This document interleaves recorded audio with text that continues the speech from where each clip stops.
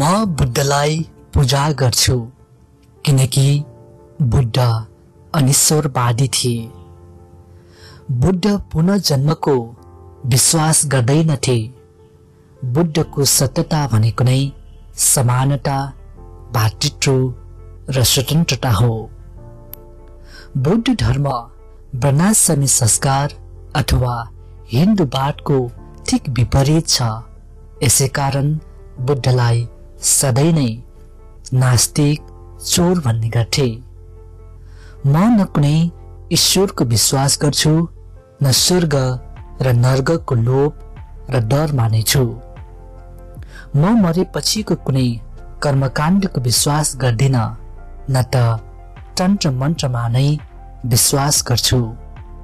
म त उँभो हेर्छु आकाश देख्छु तल धरती। यसै कारण यस जन्म सब मानस को जीवन सुखमय होस्, अभावग्रस्त नहोस् भेदभाव रहित होस् भन्ने चाहन्छु